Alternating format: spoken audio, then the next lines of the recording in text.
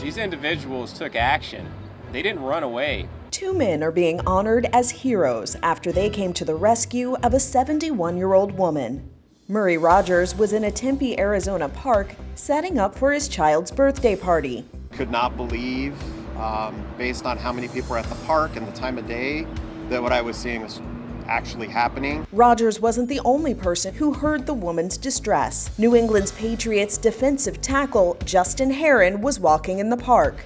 It was a crazy experience. It was uh, something that I never dreamed that I thought I would see. Authorities have identified Kevin Caballero as the alleged attacker. Police say he grabbed a woman from behind and attempted to sexually assault her in broad daylight.